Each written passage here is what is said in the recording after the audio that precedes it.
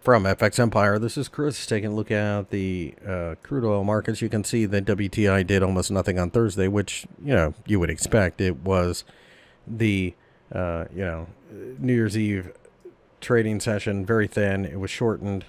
You know who's going to be putting a lot of money to work at this point?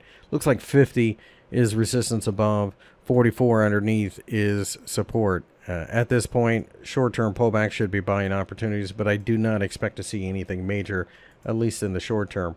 Over here in Brent, same situation.